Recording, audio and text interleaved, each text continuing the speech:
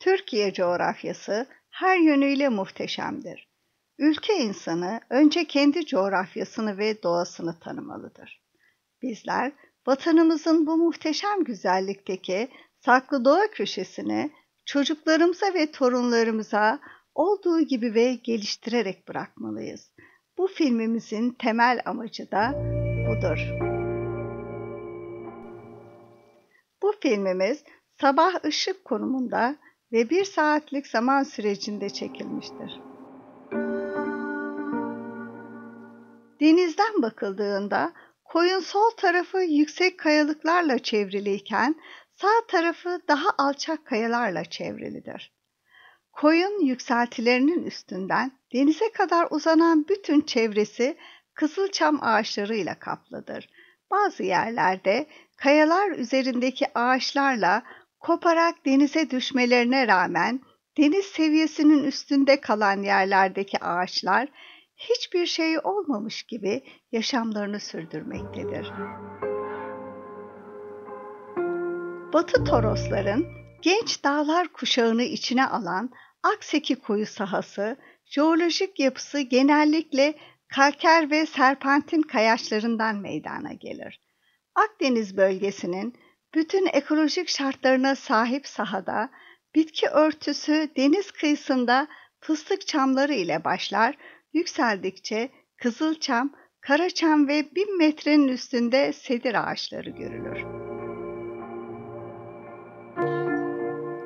Türkiye coğrafyasına bakıldığında bir dantel zarifliği kadar güzel, Ege ve Akdeniz sahili tam 262 koya ev sahipliği yapıyor.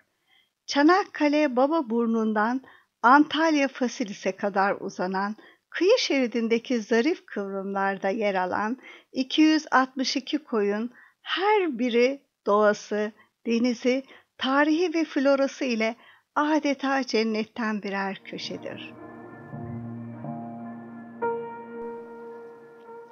Yapılan araştırmalarda çıkarılan envanterler bu koyların birer birer yok olduğunu, bilinçsiz, ranta dayalı yapılaşma ve uygulamalarla onları cennet yapan unsurların tahrip edildiğini ortaya koyuyor.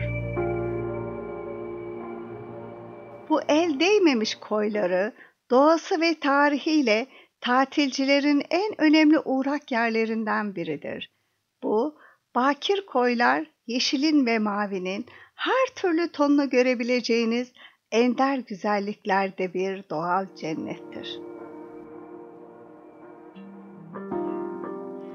Dalgaların kayaları döverek açtıkları mağaralar, birbirinden ilginç kaya oluşumları, kayaların arasında hayat bulan çam, defne ve zeytin ağaçları apayrı bir güzelliktir. Hepimizin tatil anlayışı birbirinden farklıdır. Kimimiz plajında güneşlenebileceğimiz, tüm servisleri tatilimizi güzelleştirmek için elimizin altında bulunan tatil köyleri ve otellerin tadını çıkarmayı tercih ederiz. Kimimiz ise doğal kalmış koyları, vadileri keşfederek tatilimize biraz daha macera katmayı.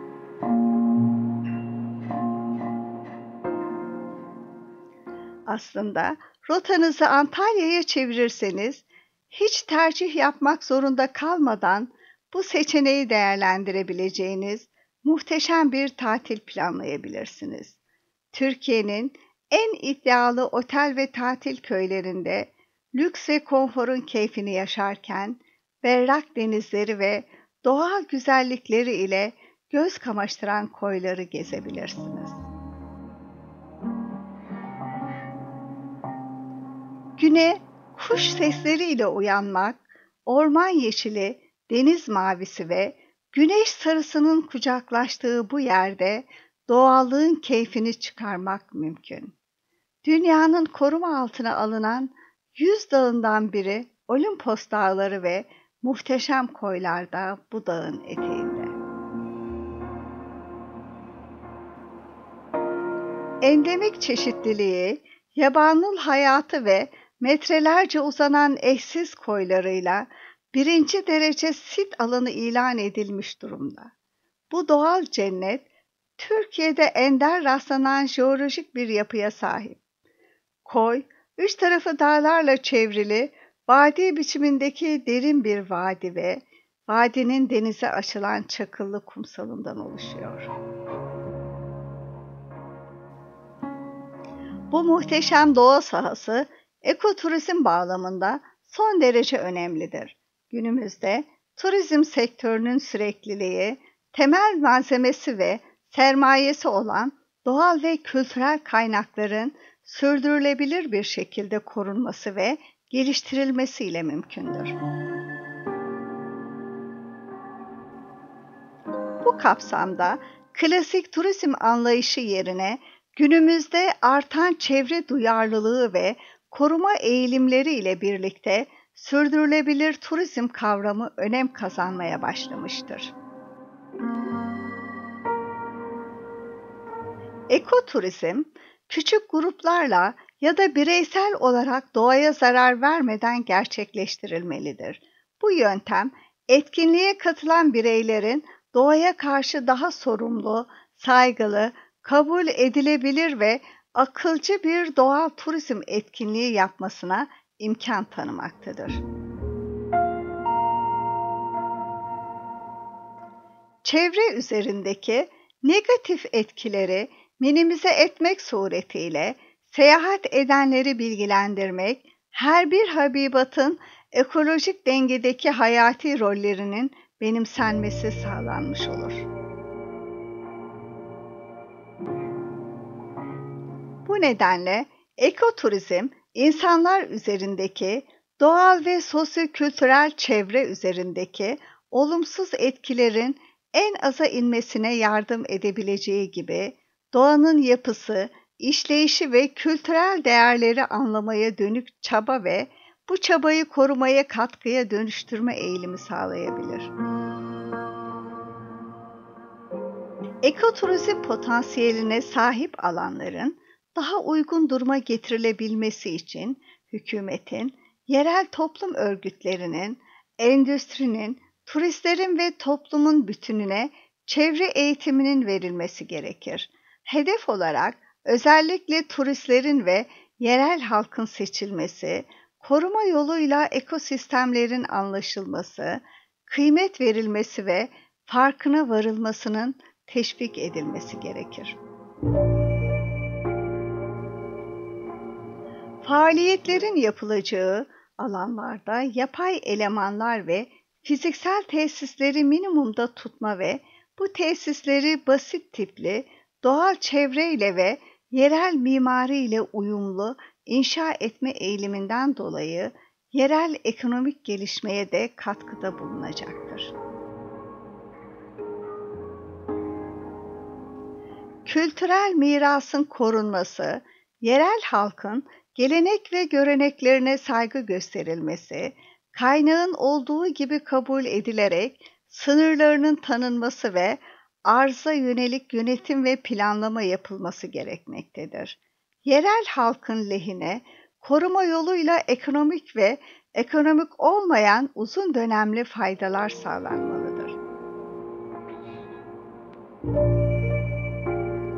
Ancak bu durumda doğal ve kültürel çevreye karşı etiksel sorumluluk ve davranışların teşvik edilmiş ve sorumluluk koruma pratiklerinin oluşturulması sağlanabilir. Böylece hükümet, turizm, toplum, turistler, yerel toplum örgütleri arasında ortaklık ve anlayışın kurulması sağlanabilir.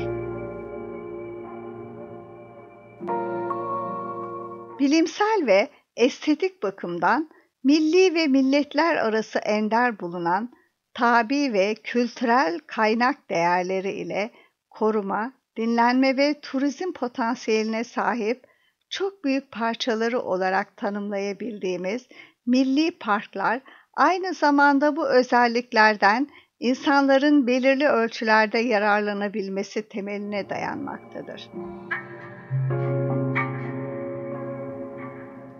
Doğal çevre ile iç içe gerçekleştirilen ekoturizm türünde doğal hayatın bozulmadan tahrip edilmeden olduğu gibi muhafaza edilerek turizme kazandırılması söz konusudur. Yumuşak turizm olarak da adlandırılan bu turizm türü sürdürülebilir turizm açısından önem arz etmektedir.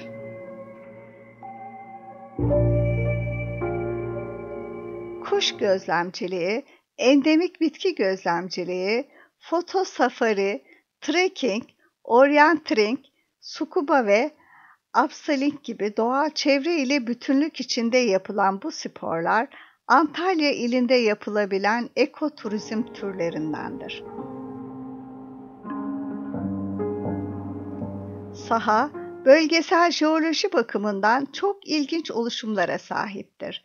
Kıyı kumsalını oluşturan kum ve çakıl boyutlu sedimanların gelgit arası bölgede bol miktarda bulunan karbonat çimento sayesinde çok hızlı bir şekilde taşlaşması sonucu oluşan yalı taşları tüm Akdeniz'e kıyısı bulunan ülkelerde olduğu gibi Türkiye'de de gözlenmektedirler. Yalı taşları kıyı bölgesinin gelgit arası kesiminde kum ve çakıl boyutlu sedimanların karbonat çimento, magnezyum, kalsit veya aragonit ile bağlanarak taşlaşması sonucu oluşmuş sedimenter yapılardır. Akdeniz sahilinin önemli bir kesimi Toros dağlarına paralel bir şekilde uzanır. Bu kaynak alanlardan türeyen çeşitli litolojilerden oluşmuş sedimanlar yalı taşlarında bariz bir şekilde gözlenmektedir.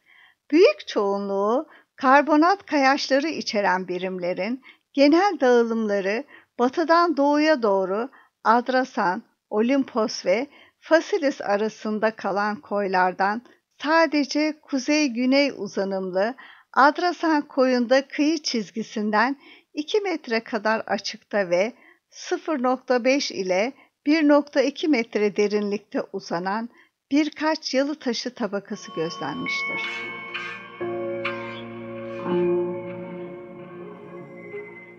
Sahilde kireç taşı çakılları ile ince kum boyutu malzeme bulunmasına rağmen yalı taşının tane boyu ince kumdur. Olimpos antik şehrinin bulunduğu alanda ise limana ait yapıların temelleri plaj çakılları tarafından 0.5 metre kadar örtülmüştür.